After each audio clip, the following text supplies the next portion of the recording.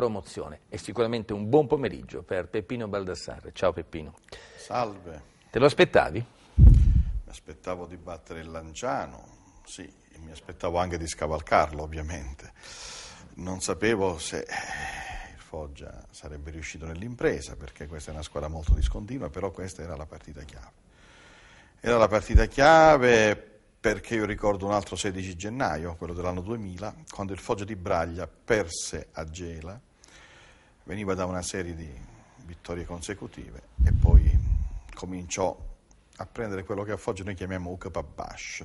Per carità, quel Foggia arrivò poi quarto, fece i playoff ma fu eliminato in semifinale per il discorso che avendo vinto 2-0 qui con la Cireale, avendo perso 2-0 in Sicilia, la quarta contro la, uh, la terza veniva fatta fuori. Io invece credo che questo 16 gennaio possa essere propizio per un'inversione di rotta per questa squadra, perché pare che atleticamente stanno bene, tecnicamente cominciano a valere qualcosa.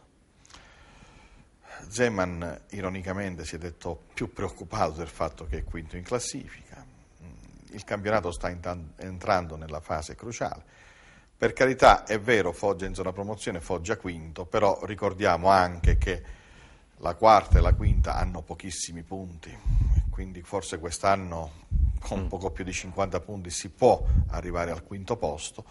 Le altre due che al momento sono nei playoff, che sono il Benevento e l'Atletico Roma, che è seconda, hanno molti più punti. Però il livello nostro è quello tra il quinto e il nono posto, in questo momento siamo quinti, se non riusciremo a migliorare speriamo almeno di mantenere questa quinta posizione. Le premesse ci sono per far bene Certo bisogna essere continui e bisogna aver eh, terminato il sacco di regali da distribuire alle altre squadre.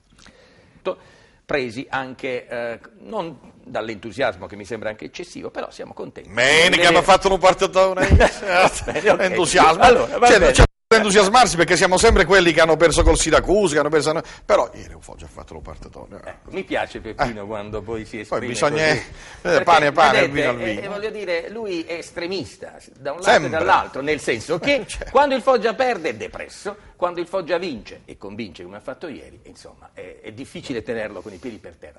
Beh, quando si esprime così il Foggia non ce n'è per nessuno Peppino non ce n'è e non ce ne sarà per nessuno qualora dovesse ripetersi il Foggia. Non è facile ripetersi, però mh, possiamo anche dire che ieri il Foggia ha affrontato una squadra gagliarda e anche, tra virgolette, tosta come quella del Lanciano, quindi non è che ha vinto contro la Cenerentola del Girone, ha vinto e si è dovuto impegnare parecchio, ma ha vinto bene perché ha corso più del Lanciano, perché il Lanciano spesso ha corso a vuoto, perché nella coralità dell'azione il Foggia è stato impeccabile.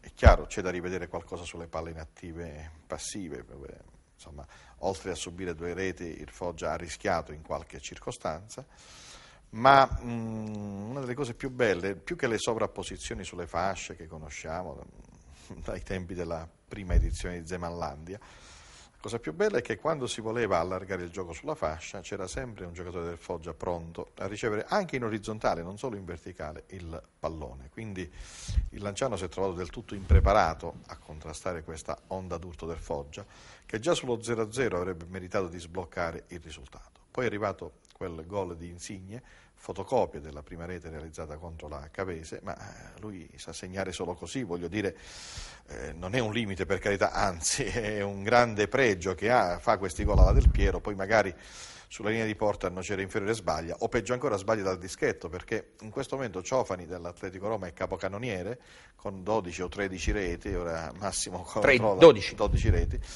ma è meglio ecco, avere due giocatori a 11 gol fatti che non uno capocannoniere a 12, quindi almeno nella classifica cannonieri è meglio come stiamo messi noi con due secondi posti. Sì, perché l'altro è Franchini che ne ha 6, quindi sì. insieme ne fanno 18. Sì, e Insigne, Insigne purtroppo è, chi è causa del suo mal pianga se stesso, se fosse stato bravo a realizzare anche i rigori che ha tirato sarebbe ora il capocannoniere del, del campionato. Eh, fatto l'elogio ad Insigne dobbiamo elogiare anche gli altri componenti del tridente, a cominciare da Sau, che oltre a segnare eh, poco prima della rete aveva sciupato due opportunità sulla prima veramente non c'è nulla da imputargli perché è stato bravo il portiere a intuire il tutto. Sulla seconda, non aver centrato lo specchio della porta, ecco, per un attaccante il primo a rammaricarsi è proprio lo stesso attaccante. Ma Pochi minuti dopo ha accompagnato in rete una perfetta assistenza di Farias, poi ha fornito anche egli l'assistenza ad Insigne in occasione della quarta marcatura, ma soprattutto ha rubato un sacco di palloni, ha lottato, è stato veramente eh, un giocatore completo. E Farias, abbiamo visto in questo momento, la sua reca la stiamo rivedendo, vedete questo tiro da fuori aria che va sotto la traversa e dà appunto riporta il Foggia in vantaggio. Questo è stato un, forse il gol più importante dei cinque, quello che ha ridato il vantaggio a quella squadra che una volta sull'1-0 si era fatta rimontare. Questa è, l'assistenza di Farias a, eh, a Saudi. Ecco, va Farias... detto che um, proprio in questo momento tutti in piedi, applausi, cori e si sono sentiti anche sì. vecchi cori sì, sì, vecchi già vent'anni mi, fa mi diverto solo se, eh, Zeman, Zeman, certo, certo, certo. Di, quando la curva ha chiamato tutto lo stadio e appunto tutto lo stadio poi ha cantato, quindi